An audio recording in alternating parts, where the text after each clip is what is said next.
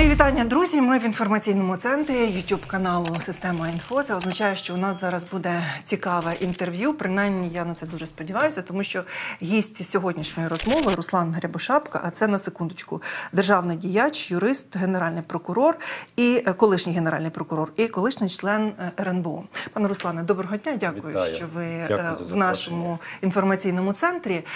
Дивлячись на вас, одразу згадую світлини початку президентської кар'єри Зеленського, коли йде молода команда, як він називав, команда мічти. Так пролунало таке одного разу у Зеленського. І от я дивлюся, що зараз та команда мрії, яка була біля президента, вона якось розчинилася. Її немає. Поступово е, чи президент, чи його оточення позбавилися від Данилюка, від Рябошапки, тепер від Разумкова.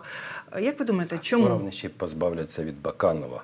скоро ще Є від така Баканова? інформація, та, що Мгм. дуже гострий конфлікт між Іваном Геннадійовичем і головним консильєрі президента.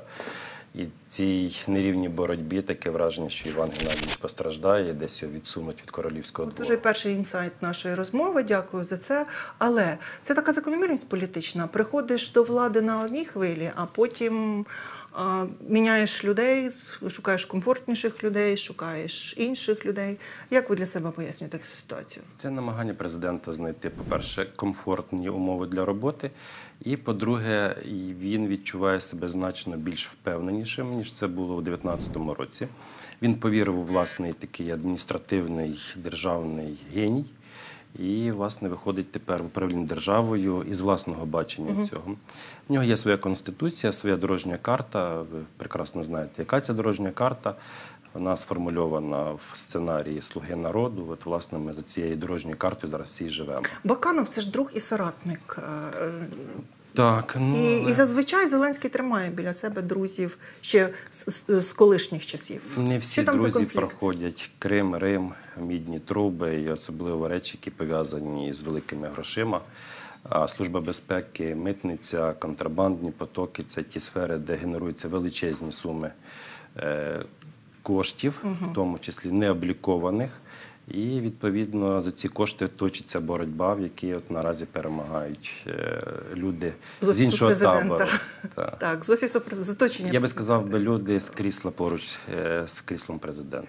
Е, Разумков, відставка Разумкова. Ви знаєте, про неї довго говорили, мало не з літа. І ще на початку писали, що Разумков це альтер-его Зеленського, що от він такий інтелектуальний згусток, який буде направляти політичну силу Зеленського до подальших перемог. А чому е, позбавилися Разумкова? А не тільки Разумкова, Разумкова, а й всіх інших людей навколо президента позбавляються, як тільки вони починають представляти певну та певну суб'єктність, вони намагаються говорити ні президентові, і вони починають жити власним, можливо, таким не дуже активним, але власним політичним життям. І відповідно президент таких людей не терпить біля себе. Всі навколо повинні його відтіняти, підкреслювати його велич і геніальність, і власне допомагати йому відчувати себе єдиною і неповторною топ-персоною в цій країні. На початку ви вірили в політичний геній Зеленського, коли почали з ним працювати? І чому? Що вас Ну, переконувало? Ну, перше, він відсутній. Політичний геній Зеленського він відсутній. Тобто його треба було формувати. Е, Його не потрібно було формувати, його президент сам собі сформував в своїх очах. Е, Тоді не було, тоді був Зеленський зовсім інший. Він був простим, звичайним хлопцем, який дуже сильно хотів змін в країні. Ми багато годин провели в розмовах із Зеленським, в тому числі один на один, і говорили про те, як змінити суди, як змінити правоохоронну систему, що нарешті зробити в країні, щоб не було так, як е, відбувалось до того 28 років, щоб Україна нарешті почала хорошо жити, як в тій самій живуть люди в тій самій Європі, щоб українці повернулися з Польщі, з Італії, з Португалії до України. Чому такі е, хороші ідеї і плани нівелюються? Чому хороші гасла, які були в, в передвиборчий період, е, ні кумівству, там не, друзі, а професіонали будуть в оточенні, сильна країна, багата країна, без корупції, без е, чорного налу, який носиться з кабінету в кабінет. Чому це все за два з половиною роки від, перекреслено? Я думаю, тому що президент, по-перше, повторив всі ті самі помилки, які зробили до нього попередні президенти. Маю на увазі той самий Віктор Ющенко, і після нього і Янукович, і Порошенко. Тобто, на жаль, Зеленський, який критикував помилки попередніх президентів, він Не робить абсолютно, абсолютно так само. Колись Бендукідзе казав, що політика це як зелений огірок потрапляє в банку з кислими огірками. Через деякий час він стає таким самим. Все залежить від е, стержня внутрішнього і від е, усвідомлення власної місії, ну і політичного, можливо, просто компетентності професійності. Якщо є професійність, ти розумієш, що люди, які приходять і тебе просто хвалять чи підтримують твої рішення, незалежно від того, які вони, то ці люди вони не бажають тобі добра, вони просто хочуть бути хорошим для тебе. Якщо цієї професійності немає, то відповідно ти починаєш вірити ну, в системі, так, в і вірити тільки в себе. Е, Дивіться, я е, слідкувала за тим, як розвивалася кар'єра Разумкова, і десь з літа почала читати заголовки. Разумкова готує до відставки. Потім з'явилися меми Я не йду у відставку. Разумков дітям на першому дзвонику пояснює, що він не йде у відставку. От те саме я зараз читаю про Венедіктову. От, будь ласка, зараз знайду. Е, Підстав для відставки генпрокурора Венедіктової наразі точно немає. Це говорить представник президента у конституційному суді пан Веніславський.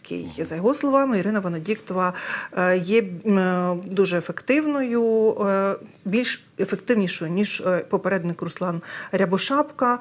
От результатів діяльності дуже багато, бо дуже багато різноманітних злочинів розслідується Генеральною прокуратурою. Федір був один із тих, хто проголосував за мою відставку. Відповідно, підтримував Венедиктова. Нещодавно щось відбулося таке, е, що в них е, жорсткий конфлікт, і він жорстко критикує Венедиктову через її неефективність, До мене застаріла провал цитата. реформ. Так, це У мене застаріла цитата. початок Ага. е, історії, коли ще була любов. Де, Скажіть, будь ласка, Але тоді все які, дуже просто. які перспективи Вен- Венедіктової? Коли починають говорити про відставку, треба очікувати відставки? Чи все-таки буде звіт генпрокурора? Ми побачимо, що дійсно було зроблено, що не зроблено, які досягнення, які недосягнення. Ну, формально звіт мав би бути. Це перше. По закону, крім того, мали би бути підстави для звільнення е, генерального прокурора. Вони повинні були би існувати. Тобто парламент не може просто так взяти і висловити політичну недовіру генеральному прокурору, як це було зроблено мені. Ця норма з'явилася з ініціативи Іонушаса, до речі, він прийшов з такою ініціативою. Давайте от призначаємо Рябошапку на посаду генерального прокурора. Давайте внесемо це положення в закон про прокуратуру, щоб у вас, Володимир Олександрович, була можливість в будь-який момент та позбутися свого прокурора. Ну, звісно, президентові це сподобалося. Я якось тоді на це особливої уваги не звернув, тому що не тримався за посаду. І однією підставою більше, однією менше для мене це ролі не грало. Тим більше я і двічі відмовлявся від цієї посади е, президентові. Е, Але зараз немає ж значення, чи є підстави для звільнення генерального прокурора, чи є посадки, чи є результати, про що говорив Зеленський. Питання в лояльності і відданості. Як тільки Венедиктова починає бути трошки більше самостійною, спілкуватися із різними фракціями в парламенті, значить підвищується градус недовіри до Венедиктової, підвищується, збільшується кількість розмов щодо її відставки. А зараз Венедиктова проявляє таку самостійність за вашими оцінками? Зараз така самостійність зменшилась, ступінь лояльності збільшився. Відповідно, поки що відтерміновується питання щодо її відставки. А давайте е, проаналізуємо, які кейси може показати Венедиктова, успішні кейси на посаді генерального прокурора. От раптом, якщо треба буде робити звіт. Ви знаєте про які справи там зараз є? Так, е, зараз прокуратура загалом керується принципом гуманізму. І вона захищає багатьох людей від е, злого е, караючого меча закону. Наприклад, першим таким випадком гуманізму був кейс щодо Бахматюка, Угу. Е, який зараз переховується у Відні. Е, Нагадаю, цю справу буквально за два дні до того, як ми прийшли в офіс генерального прокурора, її розділили там на десятки дрібних епізодів, десь по всій Україні розкидали. Ми потім ледь познаходили ці осколки одного провадження, передали в набу, і набу нарешті пред'явило підозру. Наразі Бахматюк переховується у Відні. Е, Тоді було намагання забрати провадження у набу і передати до органу, який є більш лояльним і точніше контрольованим. Тоді ця спроба не вдалася, використовували Печерський суд, і, врешті-решт, провадження залишилося в набу. Але наразі наша гуманна прокуратура робить все, щоб Бахматюк міг і надалі насолоджуватися віденською кавою там у Відні, а не е, на Лук'янівці. Справа Медведчука це так само прояв гуманізму Генеральної прокуратури? Чи тут складніша ситуація? Складніше Це- доводити те, що йому інкримінують? Ні, це намагання використовувати прокуратуру із Політичних політичних, цілях. політичних цілях. І це надзвичайно шкідливо для України, тому що ми всі розуміємо, що там ну, Медведчук це не та людина, яка дружить із законом. І очевидно, що є підстави говорити про те, що він порушував закон, і це потрібно доводити, але доводити в спосіб, який передбачений законом, а не політизувати цю справу. Тому що так політизовано, як воно все робиться, це в кінці кінців може призвести до того, що зусилля нашої системи кримінальної юстиції будуть ем, ну, всі зведені на нівець через Європейський суд з прав людини, наприклад. Домашній арешт Медведчука, на вашу думку, е, це лояльне ставлення е, прокуратури до Медведчука чи ні? Ну, тобто, Ну, це рішення суду, який не мав можливості обрати якийсь інший інше. запобіжний захід. Мгм. Так. як ви ставитеся до того, що зараз говорять Медведчука можуть поміняти на українців, які знаходяться в російських е, тюрмах, або поміняти на політичних в'язнів, на кримських татар, Мгм. повернути Медведчука Путіну Ну, і так далі? Це мені десь нагадує бандитизм, яким і займається е, Путін, коли бере в заручники тих самих кримських татар чи наших політичних в'язнів і намагається щось взамін на наших людей виторгувати в Україні. Тобто ми перебираємо таку практику путінську, когось взяти в заручники, кума Путіна взяти в заручники і поміняти на наших політичних в'язнів, мовно кажучи. Ну, це шлях в нікуди. З Путіним таким, в такий спосіб не можна торгуватися. Працюючи а, з такими політичними персонами, як Медведчук і ця політична сила ОПЗЖ, скажіть, будь ласка, на вашу думку, чи можливо уникати політичної ну, політичного впливу на роботу Генеральної прокуратури? Тому що все-таки це політики високого рангу, яких обирали, які багато років в українській політиці, які знають е, різні підводні течії і так далі. Чисто, чисте правосуддя тут може бути без політичного впливу? В кейсі з Медведчуком Так. сьогодні ні. А могло Саме- би бути? Могло би бути. Могло би бути, якби ця історія не стала частиною медійної гри і політичної гри президента. Е, Політична гра президента щодо Порошенка. Ви були тоді генеральним прокурором і неодноразово говорили, що все робиться для того, щоб посадити п'ятого президента України. Ви тоді давали коментарі про те, що ці справи є юридично нікчемними. Я правильно вас цитую зараз чи ні? Чи, чи деякі з них Ну, ви дуже ніжно цитуєте. Нагадайте вашу цитату, було, будь ласка. е, Те, що принесла мені Венедиктова, і що я показував президентові, це було юридичним трешем. Юридичний треш. Тому що президент запитував мене, от є великий суспільний резонанс навколо справ Порошенка. Мене запитують, що там відбувається. Я йому приніс. Тому що Венедиктова як робила, коли вона була на посаді керівника ДБР, направлялася підозра у вигляді такого юридичного сміття до прокуратури. Зразу ж йшла новина десь на теле, е, телеграм-каналах Коломойського чи проросійських, що прокуратура блокує підписання підозри Порошенкові. Це все розганялося і створювався тиск на президента. Е, Той мене запитував, я приніс один раз такий, е, таке сміття там на 20 аркушах, показав йому ту кількість навіть простих елементарних граматичних помилок, пропущені місця, там, де щось мало бути вставлено, але цього немає. І цей документ із пропусками мав підписати генеральний прокурор, і це мало бути підозрою п'ятому президентові. Ну, навіть якщо не говорити про п'ятого президента, такі документи не можна готувати щодо самого звичайного українця. Якщо сказати коротко, чи погоджуєтеся ви з тим, що ваше звільнення було пов'язано там саме з такими коментарями е, тих справ Порошенка, які пропонувалися? Ви в тому числі було декілька причин. Перше, ми стали загрозою для того самого Коломойського, оскільки справи щодо Приватбанку вони почали рухатися, власне, коли ми прийшли в офіс генерального прокурора. Була ще одна історія з тим, як розслідувалися ці справи. Тому що існували паралельні розслідування. Набу розслідувало в своїй частині, і паралельно це робила ж Генеральна прокуратура, і вони намагалися всі докази зібрати і ховати, тримати в себе. Відповідно, набу багатьох документів, багатьох доказів немало. Ми ці документи віддали. Власне, по тим документам, які ми їм передали, е, сьогодні є вже пред'явлені підозри і колишньому голові правління Приватбанку, і іншим топам. І Я думаю, що І є це була одна з причин. так само. Це одна з ключових причин. Пам'ятаєте тоді, хто був головним критиком нас, хто представляв е, свого роду звинувачення в парламенті. Це був Бужанський, один із е, пуделів Коломойського.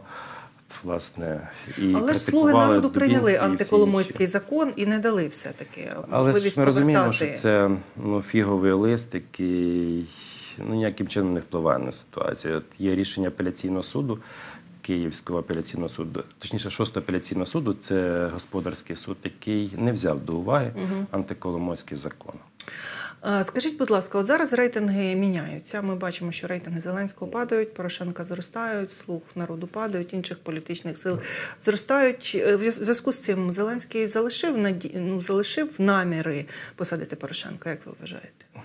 Я чув, я не можу говорити, що це правда, але ж із джерел, які наближені до е, великого, Угу. самого великого в нашій країні, що Венедиктова пообіцяла зробити все, щоб у п'ятого президента була чергова підозра, щоб його посадити. Я не знаю, наскільки це правда, але такі розмови точаться. Угу. Тобто, за... я, я можу робити І це може бути якраз однією з тих причин, чому власне відтерміновано питання про відставку генерального прокурора сьогодні.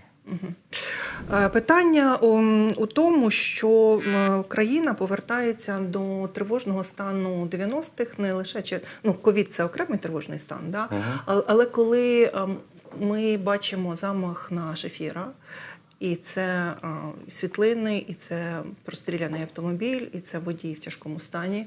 Ми бачимо, чуємо Переляканий вірніше, шефір. Так, переляканий шефір. Який перебирає смерть колишнього народного смерть народного депутата Полякова, і теж є коментарі, що це була насильницька смерть.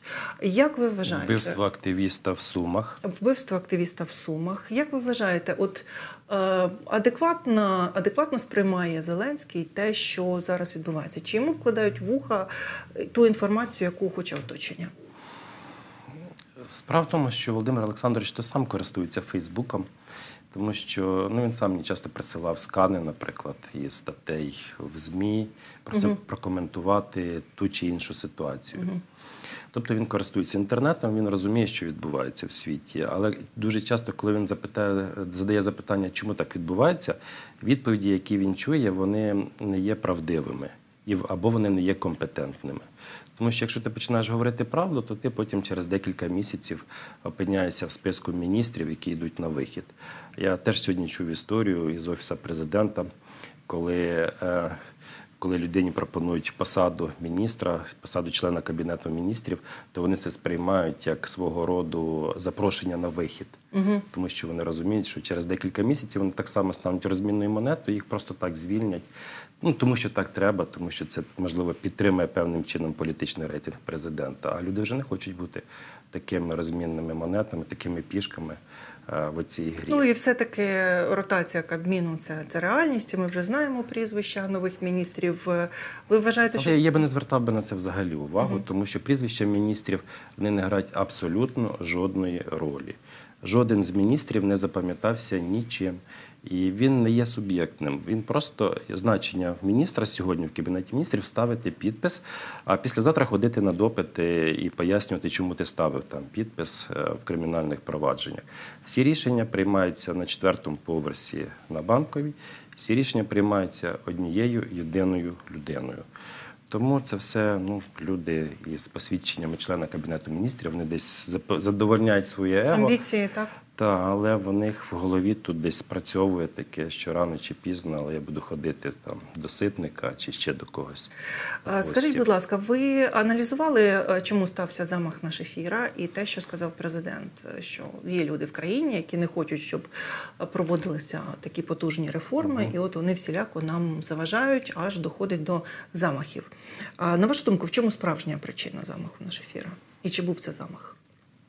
Ну, я думаю, що це був замах. Е, До речі, слідство досі не дало ніяких е, ну, більш-менш розумних пояснень тому, що відбулося. Вже пройшло декілька місяців, і резонанс від цієї теми зараз е, дуже сильно зменшився.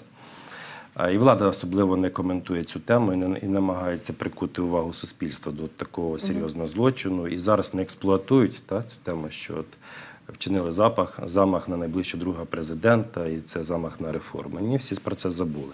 Я думаю, що проблема у тому, що робив Сергій Нахманович, і в тому, що це що не було передбачено законом. Е, Очевидно, що більшість Мова повноважень. гроші? Можливо, більшість повноважень полягали в тому, е, в якихось тіньових консультаціях і в тіньових домовленостях. Оскільки президент сам не може цього брати, він у нього ж чисті руки, він е, людина з народу і має бути як всі інші, щоб слово корупція до нього не прилипало. Е, Тому в нього є такі комунікатори із е, тими людьми, які можуть дискредитувати президента, наприклад.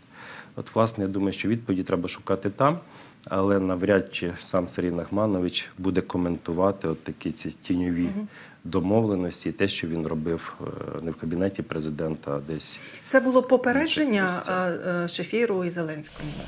Я думаю, це було швидше попередження Шефірові. Шефіру.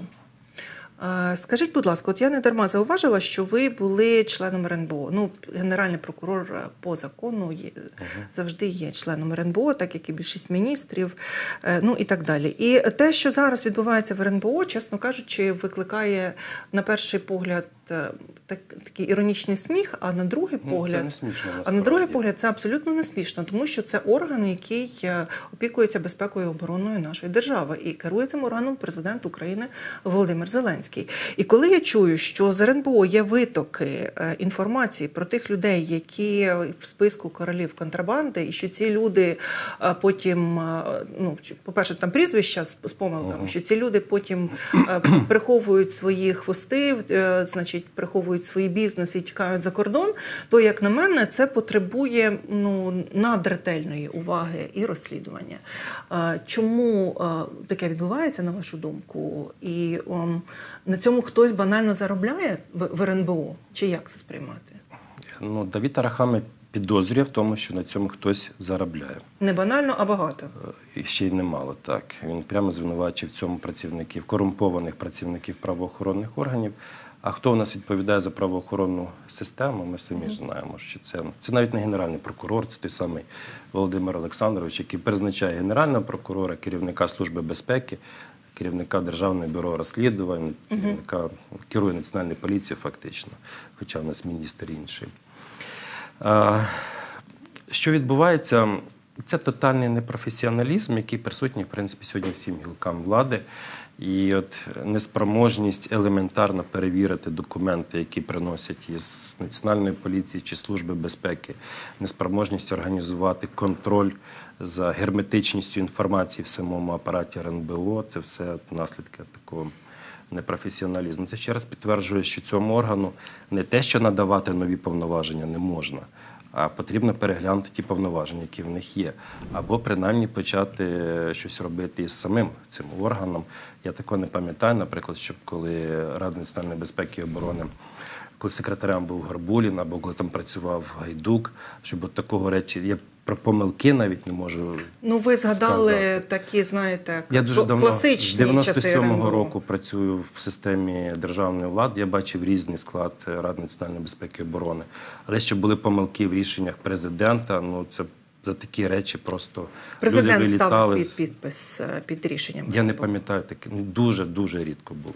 Дивіться, е, цей злив інформації, давайте називати речі своїми іменами, е, стався на рівні, на рівні топовому чи на рівні другому, який готує папери, який має доступ до інформації. От як ви вважаєте? Цей злив міг статися навіть на рівні правоохоронців чи служби безпеки, які ці матеріали приносили вже в апарат Ради національної безпеки і оборони. Це потрібно проводити розслідування.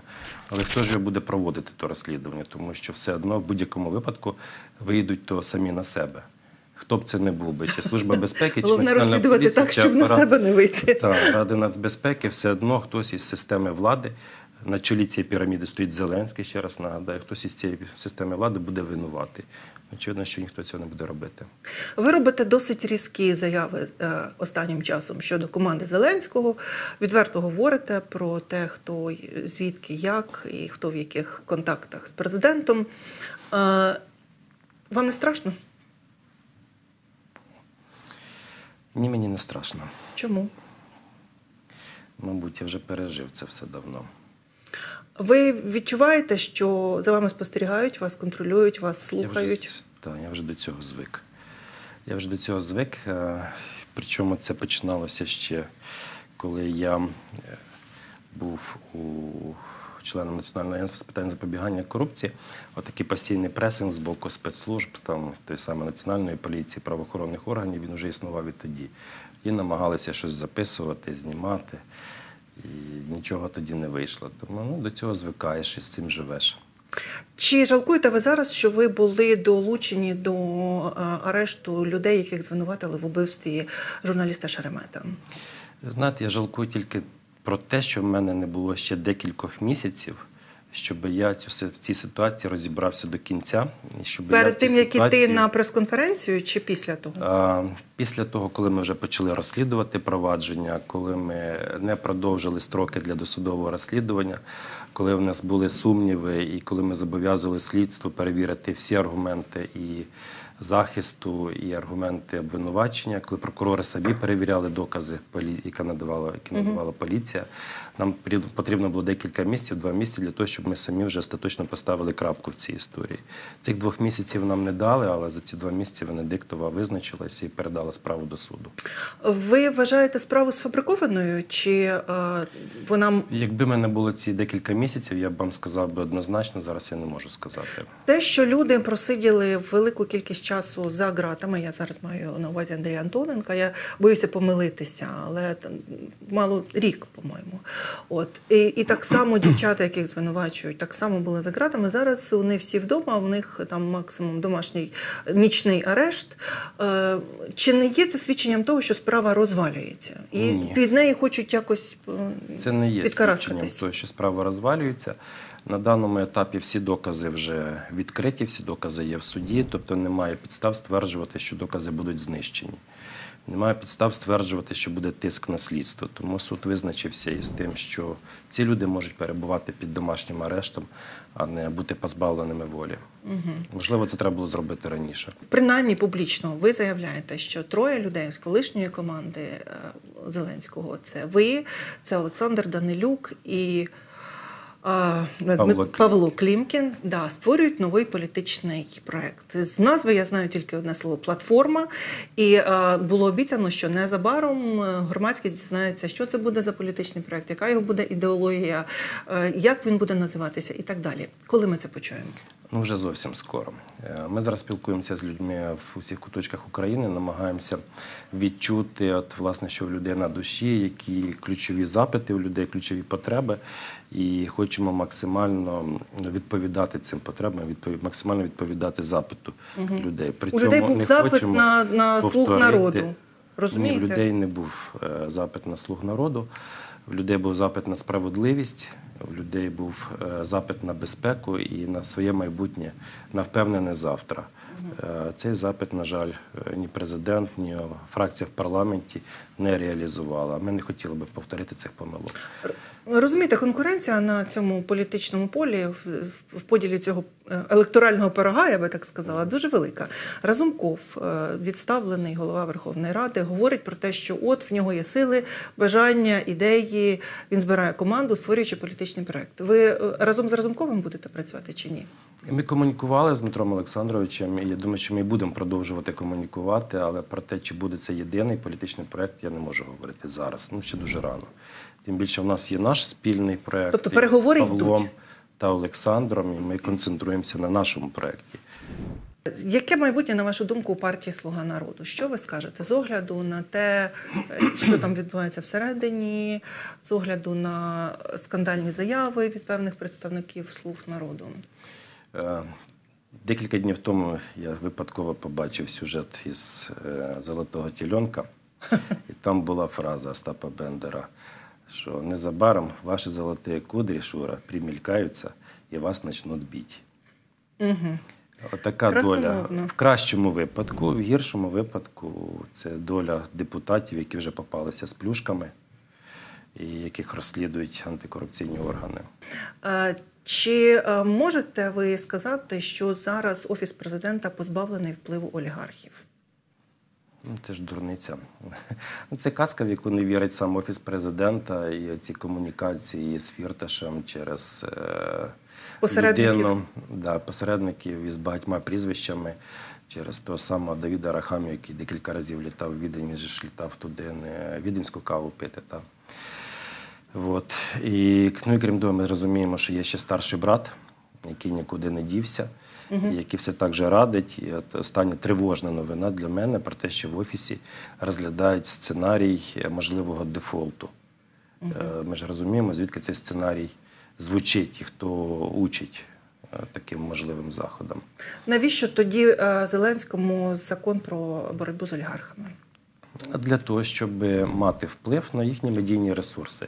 Його навіть не стільки цікавить вплив на економічні ресурси, тому що з тими самими підприємствами потрібно якимось чином розбиратися. Ти їх не націоналізуєш, ну, тому що це просто зруйнує всю економіку. А от з телеканалами можна змусити олігарха платити за ці телеканали, тому що ми ж знаємо з вами, що жоден з телеканалів не є прибутковим, і в них усіх вкладають величезні гроші. Так от, суть закону, щоб змусити олігархів платити, утримувати телеканали, які би транслювали тільки правильні новини щодо слуги народу та президента. І от, власне, ну, ми це бачимо діями з того самого офісу президента, скандали з Суспільним нещодавно, який відбувався. Ці списки гостей, стоп-лісти, коли з офісу президента вказують телеканалам, кого можна запрошувати, а кого не можна запрошувати. Там істерики, які влаштовує офіс президента, потім тим самим телеканалам, коли вони запрошують небажаних гостей, типу мене. Тому це все Тому є. і є це альтернатива youtube канали, де ви можете прийти і розказати е, всі інсайти. А сьогодні у нас їх два: про відставку Баканова і про те, що в офісі президента серйозно обговорюють можливість дефолту для України. Я дякую Руслану Рябошапці за е, сподіваюсь відверте інтерв'ю і е, сподіваюсь на ваші перегляди. До зустрічі.